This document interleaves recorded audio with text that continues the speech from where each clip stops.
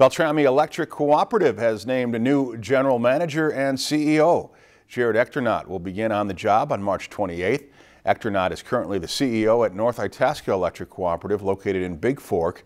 Beltrami Electric's current general manager and CEO is Lynette Neusma. She is retiring. If you've enjoyed this segment of Lakeland News, please consider making a tax-deductible contribution to Lakeland Public Television.